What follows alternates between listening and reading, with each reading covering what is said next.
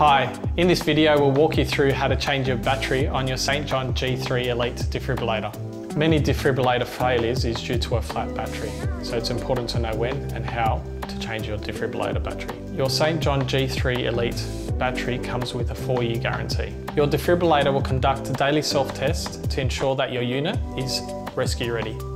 Now I'll show you how to change over your G3 Elite battery. Battery is located at the bottom of the device. Press on the latch to release the battery.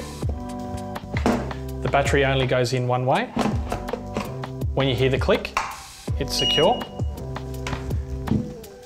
Open the lid of the device and rescue ready will go green.